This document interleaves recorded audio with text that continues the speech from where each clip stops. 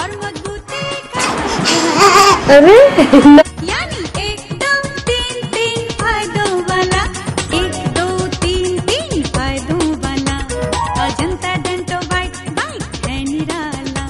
सांसों की फ्रेशनेस दांतों की वाइटनेस और